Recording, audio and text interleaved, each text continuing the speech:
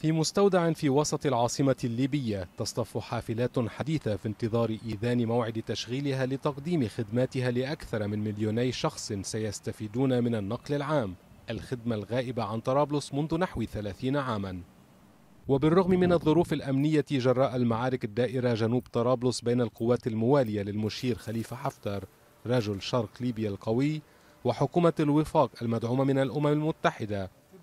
تسعى شركة السهم للنقل العام الليبية إلى إحياء ثقافة النقل العام داخل العاصمة بهدف تقليل الازدحام وتخفيف أعباء الحكومة في دعم الوقود.